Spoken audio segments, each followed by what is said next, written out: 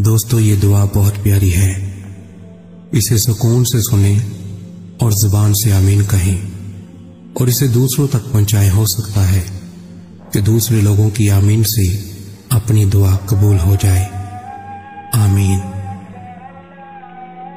अल्लाह रब्बुल इज़्ज़त, ए सारी कायनात के शहनशाह, ए सारी मखलूक के पालने वाले, ए ज़िंदगी मौत का फैसला करने वाले ए आसमानों और जमीनों के मालिक ए पहाड़ों और समंदरों के मालिक ए इंसानों और जिन्नातों के माबूद ए अरश आज़म के मालिक ए फरिश्तों के मबूद ए इज़्ज़त और जिल्लत के मालिक ए बीमारों को शिफा देने वाले ए बादशाहों के बादशाह ए अल्लाह हम तेरे गुनाहगार बंदे हैं, तेरे खताकार बंदे हैं।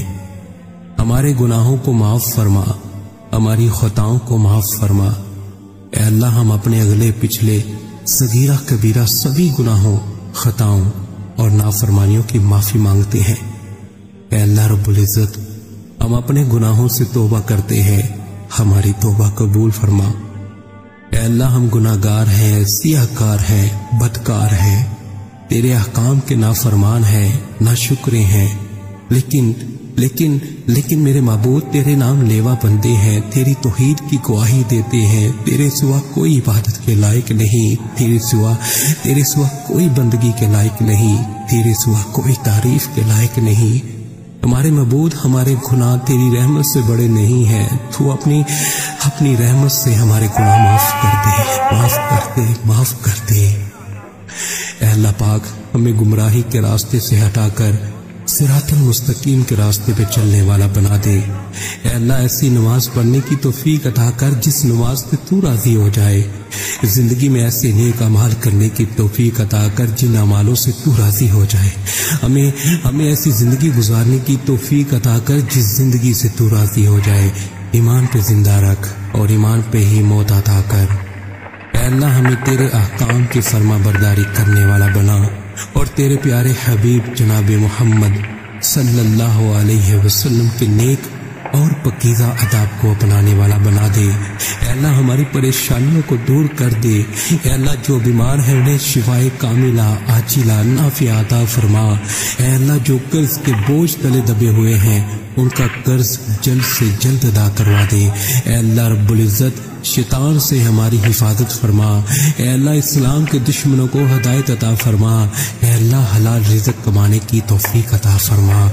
ए परवर दिगारे आलम, हमें तुझसे मांगना नहीं आता, लेकिन तुझे देना आता है। तो हर चीज़ पे कादिर है। ए अल्लाह जो मांगा वो भी अता फरमा, और जो मांगने से रह गया वो भी अता फरमा।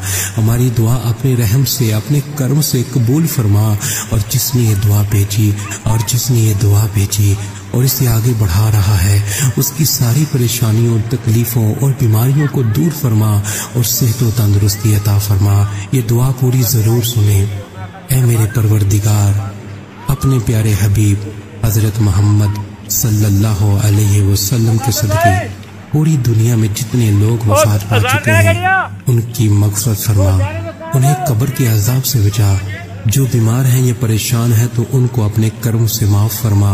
और उनकी बीमारी और परेशानियों को दूर फरमा ए मेरे अल्लाह ए प्यारे हबीब सल्लल्लाहु अलैहि वसल्लम के सदके, जिसने मुझे ये दुआ भेजी, उसके तमाम गुनाहों को माफ़ फरमा और हर काम में कामयाबी अता फरमा और उसका नसीब खोल दे मेरे अल्लाह।